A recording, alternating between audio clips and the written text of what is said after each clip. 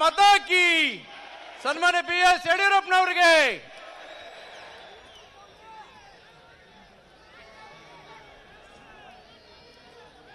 ಭಾರತ್ ಮಾತಾ ಕಿ. ಪ್ರಧಾನಿ ನರೇಂದ್ರ ಮೋದಿ ಅವರಿಗೆ. ಅಮಿತ್ ಶಾ ಜಿ ಅವರಿಗೆ.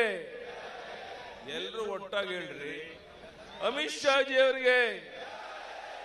ಕೈ ಎತ್ತೇಳಿ. ಭಾರತ್ ಮಾತಾ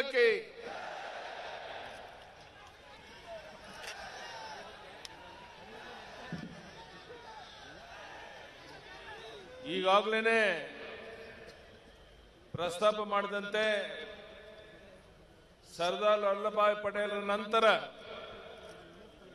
ಈ ದೇಶದ ಗೃಹ ಸಚಿವರಾಗಿ ಅನೇಕ ಪ್ರಮುಖ ನಿರ್ಧಾರನ ಕೈಗೊಂಡು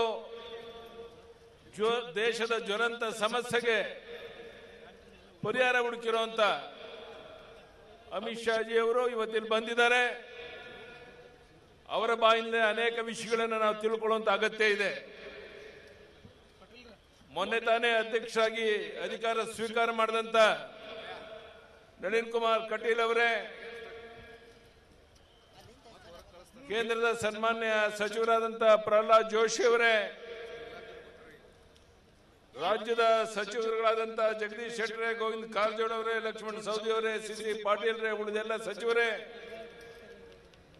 ಇಲ್ಲಿಯ ಶಾಸಕರಾದಂತಹ ಅರವಿಂದ್ ಮೆಲ್ಲದ್ ಸೇರಿ ಇವರೆಲ್ಲ ಶಾಸಕ ಮಿತ್ರರೇ, ವೇದಿಕೆ ಮೇಲಿರುವಂತಹ ಮುಖಂಡರೇ, ಇಷ್ಟು ದೊಡ್ಡ ಸಂಖ್ಯೆಯಲ್ಲಿ ಸೇರಿರುವಂತಹ ಆತ್ಮೀಯ ನನ್ನ ಕಾರ್ಯಕರ್ತ ಬಂಧು ಭಗಿನಿಯರೇ, ಮಾಧ್ಯಮದ ಸ್ನೇಹಿತರೆ ಇಡೀ ದೇಶ ಪ್ರಧಾನಿ ನರೇಂದ್ರ ಮೋದಿ ಅವರ ಕಡೆ, ಅಮಿತ್ ಶಾಜಿಯ ಕಡೆ ನೋಡ್ತಾ ಇರೋ ಸಂದರ್ಭದಲ್ಲಿ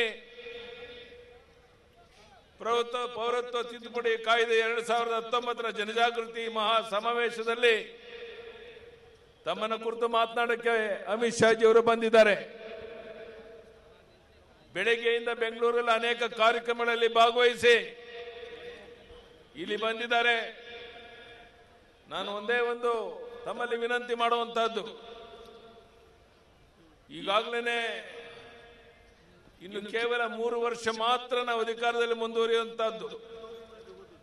ನಂತರ ನಿಮ್ಮ ನಮ್ಮೆಲ್ಲರ ಶ್ರಮದಿಂದ ನೂರೈವತ್ತಕ್ಕೂ ವಿಧಾನಸಭಾ ಕ್ಷೇತ್ರ ಗೆದ್ದು ಭಾರತೀಯ ಜನತಾ ಪಾರ್ಟಿಯನ್ನು ಅಧಿಕಾರಕ್ಕೆ ತರಬೇಕು ಅನ್ನೋದು ಗುರಿಯನ್ನು ಹೊಂದಿರುವಂತಹದ್ದು ನಾವು ನೀವೆಲ್ಲ. ಅದಕ್ಕಾಗಿ ರಾಜ್ಯದ ಉದ್ದಗಳಿಗೆ ಪ್ರವಾಸ ಮಾಡುವಂತಹ ನಿಶ್ಚಯವನ್ನು ನಾವು ನೀವೆಲ್ಲ ಮಾಡಬೇಕಾಗಿದೆ. ಸಂಘಟನೆಯನ್ನು ಬಲಪಡಿಸಬೇಕಾಗಿದೆ. ಮೋದಿಜಿ ಅವರಿಗೆ, ಅಮಿತ್ ಶಾ ಜಿ ಅವರಿಗೆ, ಕರ್ನಾಟಕ ಶಕ್ತಿಯುತ ರಾಜ್ಯ ಅನ್ನೋದನ್ನ ತೋರಿಸಬೇಕಾಗಿದೆ. ರಾಜ್ಯದಲ್ಲಿ ನೀರಾವರಿ ಯೋಜನೆಗೆ ಆದ್ಯತೆಯನ್ನು ಕೊಟ್ಟು, ರೈತನ ಹೊಲಕ್ಕೆ ನೀರು ಕೊಟ್ಟು, ಅವನು ಬೆಳೆದಂತ ಬೆಳೆಗೆ ಒಂದು ವೈಜ್ಞಾನಿಕ ಬೆಲೆ ಕೊಟ್ಟು, ನಾವು ನೀವೆಲ್ಲ ನೆಮ್ಮದಿಯಿಂದ, ಗೌರವದಿಂದ, ಸ್ವಾಭಿಮಾನದ ಬಾಳಿ ಬದುಕುವಂತ ವ್ಯವಸ್ಥೆ ಮಾಡಬೇಕಾಗಿದೆ. ಮಾರ್ಚ್ ಐದನೇ ತಾರೀಕು ಬಡ್ಜೆಟ್ ಅನ್ನು ಮಂಡನೆ ಮಾಡಿದಾಗ, ಈ ರಾಜ್ಯದಲ್ಲಿರುವಂತಹ ರೈತರ ಪರವಾಗಿ ದೀನ ದಲಿತರ ಪರವಾಗಿ, ಮಹಿಳೆಯರ ಪರವಾಗಿ, ಯುವಕರ ಪರವಾಗಿ ಅನೇಕ ಪ್ರಮುಖ ನಿರ್ಧಾರವನ್ನು ಕೈಗೊಳ್ಳೋದ್ರ ಮೂಲಕ ರಾಜ್ಯವನ್ನ ಒಂದು ಮಾದರಿ ರಾಜ್ಯವನ್ನಾಗಿ ಮಾಡುವಂತಹ ಸಂಕಲ್ಪ ಮಾಡಿರುವಂತಹ ಈ ಸಂದರ್ಭದಲ್ಲಿ ಇವತ್ತು ಮಾನ್ಯ ಅಮಿತ್ ಶಾಜಿ ಅವರು ಇಲ್ಲಿ ಬಂದಿದ್ದಾರೆ. ಪಾಕಿಸ್ತಾನ, ಆಫ್ಘಾನಿಸ್ತಾನ ಮತ್ತು ಬಾಂಗ್ಲಾದೇಶಗಳಲ್ಲಿ ಅಲ್ಪಸಂಖ್ಯಾತರಾಗಿದ್ದ ಹಿಂದೂ, ಸಿಖ್, ಬೌದ್ಧ, ಕ್ರೈಸ್ತ, ಜೈನ, ಪಾರ್ಸಿ ಜನಾಂಗದವರು ಧಾರ್ಮಿಕ ಅಲ್ಪಸಂಖ್ಯಾತರು ಎಂಬ ಕಾರಣಕ್ಕೆ ಶೋಷಣೆಗೊಳಗಾಗ್ತಾ ಇದ್ರು. ಹಾಗೂ ಇಂದಿಗೂ ಈ ಶೋಷಣೆ ನಿರಂತರವಾಗಿ ನಡೆಯುತ್ತಲೇ ಇದೆ. ಈ ಕಾರಣದಿಂದಾಗಿ ಈ ಜನಾಂಗದವರು ಬದುಕುಳಿಯುವುದಕ್ಕಾಗಿ ಭಾರತಕ್ಕೆ ಬಂದು ನೆಲೆಸಿದ್ದು ನಿರಾಶ್ರಿತರಾಗಿ ಜೀವನ ನಡೆಸ್ತಾ ಇದ್ದಾರೆ.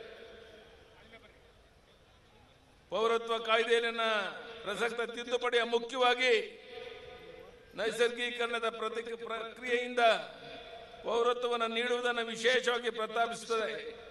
ಹಿಂದಿನ ಕಾಯ್ದೆಯ ಪ್ರಕಾರ ಭಾರತೀಯ ಪೌರತ್ವ ಪಡೆಯಲು ಅರ್ಜಿ ಸಲ್ಲಿಸುವುದಕ್ಕೆ ಭಾರತದಲ್ಲಿ ಹನ್ನೊಂದು ವರ್ಷ ನೆಲೆಸಿರಬೇಕಾಗಿದ್ದ ಅಗತ್ಯ ಇತ್ತು. ಕಳೆದ ಹಲವು ವರ್ಷಗಳಿಂದ ಭಾರತದಲ್ಲಿ ನೆಲೆಸಿರುವ ಈ ಮೂರು ದೇಶಗಳಲ್ಲಿ ಅಲ್ಪಸಂಖ್ಯಾತರಾಗಿದ್ದ ಈ ದೇಶದಲ್ಲಿನ ದೌರ್ಜನ್ಯಗಳಿಂದ ಬೇಸತ್ತು ಭಾರತಕ್ಕೆ ಬಂದು ನೆಲೆಸಿರುವಂತ ಆರು ಧರ್ಮೀಯರಿಗೆ ಪೌರತ್ವ ಕೊಡುವಂತ ವಿಧೇಯಕ್ಕೆ ತಿದ್ದುಪಡಿ ತರಬೇಕಾದ ಅನಿವಾರ್ಯತೆ ಭಾರತದ ಮೇಲೆ ಇತ್ತು. ಈ ಹಿನ್ನೆಲೆಯಲ್ಲಿ ಸನ್ಮಾನ್ಯ ಅಮಿತ್ ಶಾಜಿ ಅವರು ಲೋಕಸಭೆಯಲ್ಲಿ ರಾಜ್ಯಸಭೆಯಲ್ಲಿ ಈ ವಿಷಯವನ್ನು ಯಾವ ರೀತಿ ಪ್ರಸ್ತಾಪ ಮಾಡಿ ಅನುಮತಿಯನ್ನು ಪಡೆದ್ರು ಅನ್ನೋದು ನಿಮಗೆಲ್ಲ ಗೊತ್ತಿರುವಂತ ಸಂಗತಿ. ಈ ದೇಶದ ಯಾವುದೇ ಅಲ್ಪಸಂಖ್ಯಾತ ವ್ಯಕ್ತಿಗೂ ಇದರಿಂದ ಯಾವುದೇ ತೊಂದರೆ ಆಗದೇ ಇದ್ರೂ ಸಹ ವಿನಾಕಾರಣ ನಮ್ಮ ಕಾಂಗ್ರೆಸ್ ಸ್ನೇಹಿತರು, ಜಾತಿಯ ವಿಶ್ವೀಜ ಬಿತ್ತಿ ಗೊಂದಲ ಉಂಟು ಮಾಡುವಂತ ಪ್ರಯತ್ನ ಮಾಡ್ತಿರೋ ಈ ಸಂದರ್ಭದಲ್ಲಿ ಈ ಬಗ್ಗೆ ಸ್ಪಷ್ಟ ಒಂದು ಮಾಹಿತಿಯನ್ನು ನೀಡೋ ದೃಷ್ಟಿಯಿಂದ ನಿಮ್ಮೆಲ್ಲರಲ್ಲಿ ಜಾಗೃತಿ ಉಂಟು ಮಾಡೋ ದೃಷ್ಟಿಯಿಂದ ಅಮಿತ್ ಶಾಜಿ ಅವರು ಇಲ್ಲಿಗೆ ಬಂದಿದ್ದಾರೆ. ಬಂಧುಗಳೇ, ಹುಬ್ಬಳ್ಳಿ, ಧಾರವಾಡ ಈ ಮಹಾನಗರ ಬಹಳ ಹೋರಾಟದಿಂದ ಬಂದಂತ ಜಿಲ್ಲೆ ಇದು. ಅನೇಕ ಪ್ರಮುಖರನ್ನ ಕೊಟ್ಟಿದ್ದೀರಾ. ನಾನು ನಿಮ್ಮಲ್ಲಿ ಕೈ ಜೋಡಿಸಿ ಪ್ರಾರ್ಥನೆ ಮಾಡ್ತೇನೆ. ಬರುವಂತ ದಿವಸಗಳಲ್ಲಿ ಈ ಸುತ್ತಮುತ್ತ ಪಕ್ಷವನ್ನು ಬಲಪಡಿಸೋಕ್ಕೋಸ್ಕರ ನೀವು ಸಮಯವನ್ನು ಕೊಡಬೇಕು, ಪಕ್ಷವನ್ನು ಬೆಳೆಸಬೇಕು. ಮುಂದಿನ ಚುನಾವಣೆಯಲ್ಲಿ ನಮ್ಮ ನಿಮ್ಮೆಲ್ಲರ ಪರಿಶ್ರಮದಿಂದ ನಾವು ಅಮಿತ್ ಶಾಗೆ ಭರವಸೆಯನ್ನು ಕೊಡಬೇಕಾಗಿದೆ. ನೂರೈವತ್ತಕ್ಕೂ ಹೆಚ್ಚು ವಿಧಾನಸಭಾ ಕ್ಷೇತ್ರ ಗೆಲ್ಲಿಸಿ ಮತ್ತೊಮ್ಮೆ ಭಾರತೀಯ ಜನತಾ ಪಾರ್ಟಿಯನ್ನು ಕರ್ನಾಟಕ ರಾಜ್ಯದ ಅಧಿಕಾರಕ್ಕೆ ತರ್ತೇವೆ. ಅದಕ್ಕೆ Yuva Morcha, Mahila Morcha S C Morcha S T Morcha, Alpasankhyata Morcha, ಎಲ್ಲ ಮೋರ್ಚಾಗಳನ್ನು ಬಲಪಡಿಸೋದ್ರ ಮೂಲಕ ಪಕ್ಷವನ್ನು ಕಟ್ಟುವಂತ ಸಂಕಲ್ಪವನ್ನು ಮಾಡೋಣ ಅಂತ ಈ ಸಂದರ್ಭದಲ್ಲಿ ಹೇಳ್ತಾ. ಈ ವಿಶೇಷವಾದ ಸಭೆಯಲ್ಲಿ ಅಮಿತ್ ಶಾಜಿ ಅವರು ಹೆಚ್ಚು ಮಾತನಾಡಬೇಕು ಅಂತ ಸಹಜವಾಗಿ ನಮ್ಮ ನಿಮ್ಮೆಲ್ಲರ ಅಪೇಕ್ಷೆ ಇರೋ ಸಮಯದಲ್ಲಿ ನಾನು ಹೆಚ್ಚು ಮಾತನಾಡ್ದೇನೆ. ನಿಮ್ಮೆಲ್ಲರ ಪ್ರೀತಿ, ವಿಶ್ವಾಸ ಸದಾ ಈ ಪಕ್ಷವನ್ನು ಬಲಪಡಿಸೋ ಕಡೆ ಗಮನವನ್ನು ಕೊಡೋದ್ರ ಮೂಲಕ ಪಕ್ಷವನ್ನು ಬಲಪಡಿಸಬೇಕು ಅಂತ ನಿಮ್ಮಲ್ಲಿ ಕೈ ಜೋಡಿಸಿ ಪ್ರಾರ್ಥನೆ ಮಾಡಿ. ಬಹಳ ದೂರದಿಂದ ನಮ್ಮ ಕರೆಗೆ ಹೋಗೊಟ್ಟು ಅಮಿತ್ ಶಾಜಿ ಅವರು ಇಲ್ಲಿಗೆ ಬಂದಿದ್ದಾರೆ. ಅವರನ್ನ ಮತ್ತೊಮ್ಮೆ ನಿಮ್ಮೆಲ್ಲರ ಪರವಾಗಿ ಸ್ವಾಗತ ಮಾಡ್ತಾ ನನ್ನ ಮಾತನ್ನು ಮುಗಿಸ್ತೇನೆ. ಜೈ ಹಿಂದ್, ಜೈ ಕರ್ನಾಟಕ. ಬಲೋ ಭಾರತ್ ಮಾತಾ ಕಿ. ಅಮಿತ್ ಶಾಜಿ ಅವರಿಗೆ, ಅಮಿತ್ ಶಾಜಿ ಅವರಿಗೆ, ಭಾರತ್ ಮಾತಾ ಕಿ.